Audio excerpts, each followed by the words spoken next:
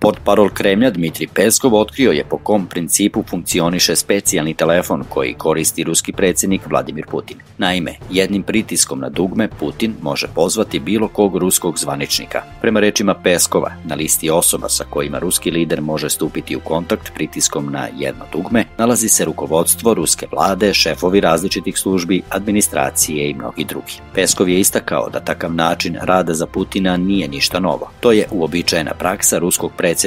Razgovori se ne održavaju reda radi. Gubernatori postavljaju konkretna pitanja, a predsjednik na njih momentalno odgovara.